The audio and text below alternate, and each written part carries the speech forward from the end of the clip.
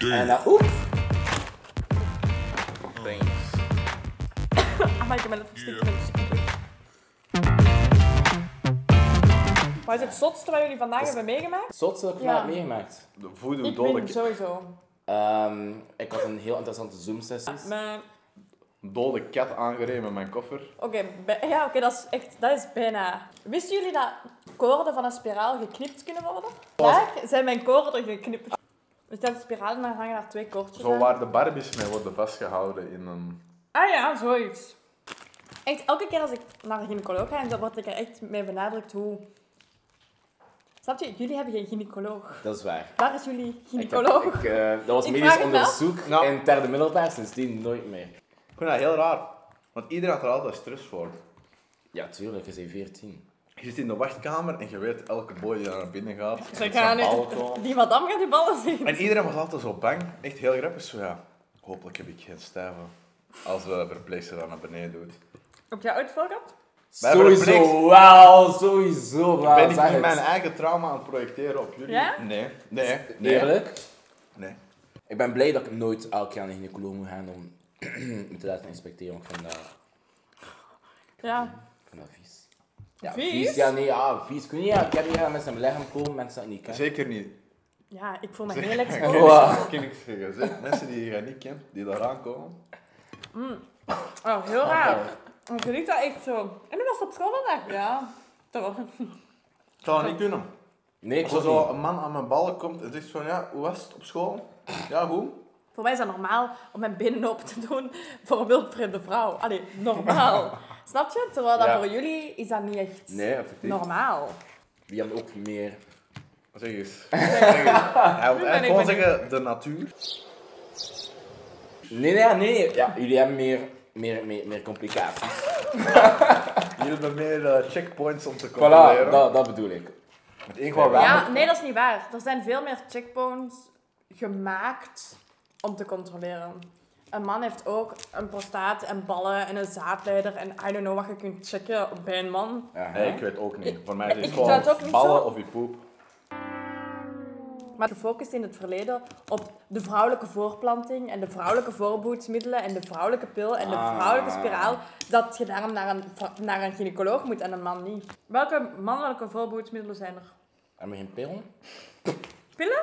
Ik weet niet, hebben we dat? De pull-out. Er was er een, maar het is niet doorgegaan. Net hebben we pillen. Maar dat is geen, oh, dat is, dat is geen voorboedsmiddel, man. Ja, er was een pil. En die pil is, eh, is niet doorgegaan. Hij is niet op de markt gekomen. Omdat de bijwerkingen daarvan ehm, ja, te zwaar waren. Maar de bijwerkingen, het lijstje van de bijwerkingen was half zo lang als het bijwerkingenlijstje bij een vrouwelijke pil. Dus dat is dan niet oké. Dat wist je niet, hè? Maar wat gebeurt er dan als je die pil neemt? Ja, wel, ik wil ook al weten. Krimpen je ballen gewoon? Nee, nee. Dus bij de vrouwelijke pil is dat... Je kunt mood swings hebben, acne, ehm je libido kan verlagen.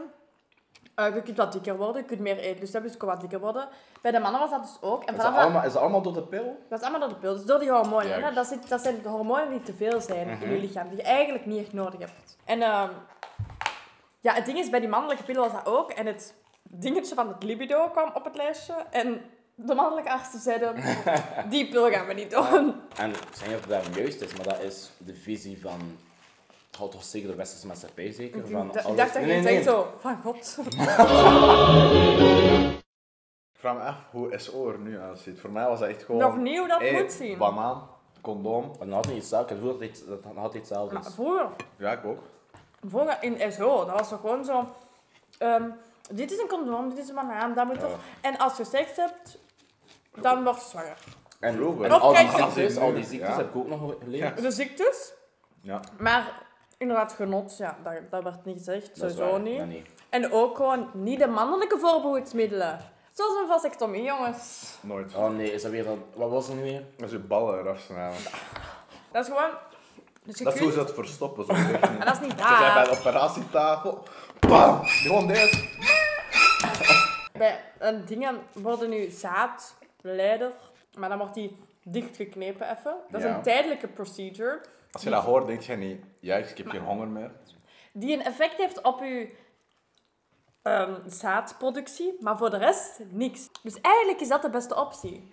Hoe geraken ze daarin? Ja, Ja, via je piemel zeker. zie je dat? Wat? Ja, hoe raak je in mijn baarmoeder? Ook via mijn... Ja, Doe maar je bij je piemel. de grootte van de... Maar De ze doen soms onderzoeken met zo'n draad. Oh! Ja, hij is bij ons kwijt, Niet bij ons kwijt. Nee, nee, dat wist ik echt niet. Maar Nee?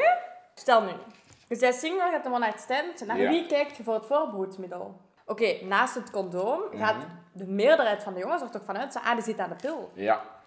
Vind je dat geen probleem? Ehm, ik antwoordde bewust niet. ehm, heb ik... Oké, ik, ga- ik ga Zo. het zo zeggen. Ik heb er nooit over nagedacht. Ah wel, zie je, omdat je daarvan uitgaat. Dat is een soort van Ja? standaard ding geworden van, ah, die neemt wel de pil of zo. Dat is waar. Want uw punt is nu, de reden waarom het er zo bijvoorbeeld bij de vrouw de pil wordt genomen en Ja. bij ons niet, is puur omdat mannen hebben dat niet graag om de pil te nemen. Maar denk je dat er geen Nee, wetenschappelijke dat is reden achter is? waar. Nee, dat is helemaal niet waar. Vrouwen normaliseren dat en zijn er allemaal zo mee akkoord. En zeggen zo, ah, ik zal de pil wel nemen, no matter wat de bijwerkingen zijn. Terwijl mannen zo zijn van, oh, dat is allemaal nieuw voor ons. En die bijwerkingen, no way.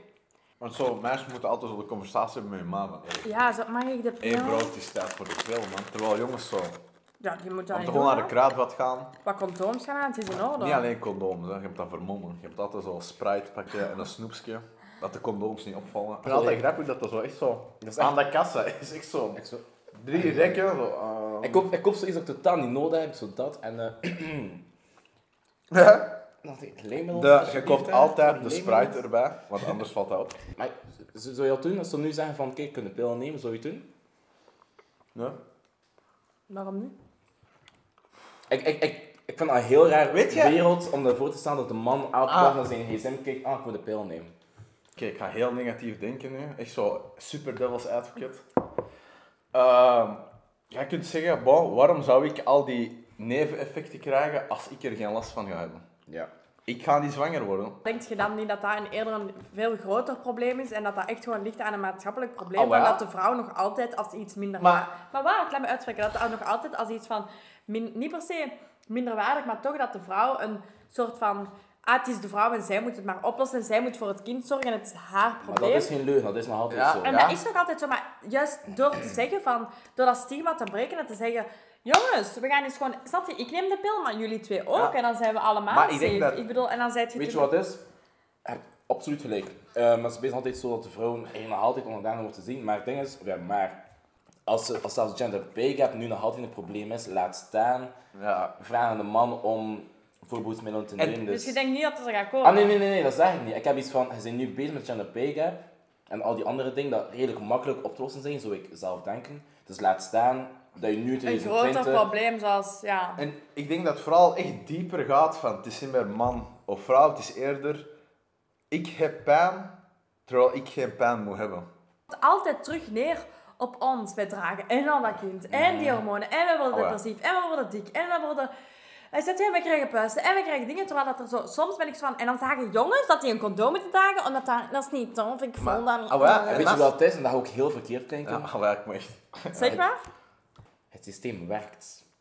Ik heb het gevoel, Ja, maar- het, gaat, het gaat pas echt veranderen, zoals gezegd, het gaat pas echt veranderen als jullie allemaal gaan zeggen, hey, fuck y'all boys, ik ga geen spiraal meer doen, ik ga geen pil meer doen, dat is uw probleem.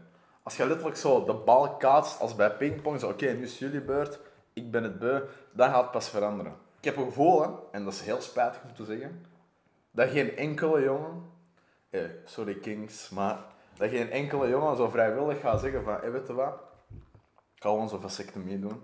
Ja, maar... Maar de gedachte domineert echt. Het is nu zo.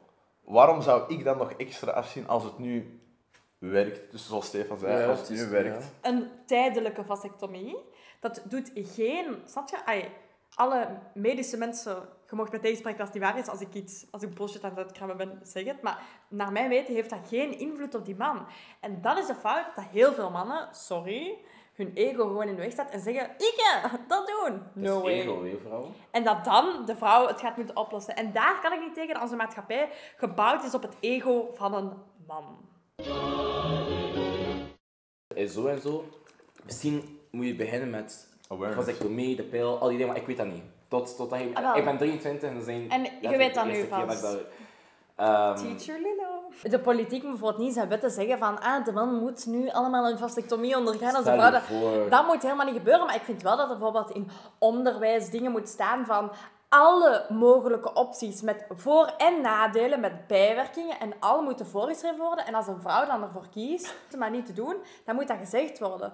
Ik wou dat jullie echt eens konden voelen hoe dat dan voelde om in dat spiraal te zitten. Dat was niet aangenaam. Bes- Allee, Ik hoor gewoon al iets in mijn... Ja, ja, En maar- zo Ik begin begin al... error. Ik begin al Ja, ja, dat was echt bij mij nooit. error. Hè. Ik heb letterlijk bij een dokter gevloekt, maar echt luid. En ik was echt zo, wat heb ik gezegd? Maar die zo, dat is normaal, dat is een wee. Ik zo, een wee? Ja, ik heb mijn spiraal laten knippen. Dat is zo, ik heb mijn haar, ik ben naar de coiffeur geweest. Hoe raar is dat? Dat is vreemd. Jezus. Ja, oh my. Ja, kijk. Ja. ehm, ik denk de conclusie is, begin op school en Het moet verander gewoon... daar mijn mentaliteit al. Ik denk eerlijk, het gaat er vooral om hoe dat de ouders hun zoon en dochters opvoeden. Want Ja. er zijn er heel veel, en dat gaat los over tampons Ja. en spiralen, wat dan ook, maar gewoon, dat zal zeggen van, hij is te jong, dus hij Ja. mocht meer, hij kunt meer, dan Hey, papa's, zus. praat met je zoon over Over het gesprek. vasectomie. Ja. vasectomie. En dan moet ik niet, meer het- niet met mijn dochter een gesprek gaan hebben over het ongemakkelijke gesprek over de pil. Ouders beschermen ook hun meisjes tegen Jongens. Voilà. And that's the problem. De cirkel is rond. Bon, als je dus wilt seksen, dan moet je je verantwoordelijkheid opnemen. En dat moet je zowel als man als als vrouw doen. Voilà. Dat was het. Jullie hebben veel geleerd vandaag. Wow, oké. Oké. Kot. Ja! Nu Hey. waterhuis. Oké, bon. Als jullie andere awkward thema's hebben om te Ja. bespreken, hey. Of als je ons, of mij, of hen totaal tegenspreekt, laat het ons ook weten. Het is een interessante discussie. Damn.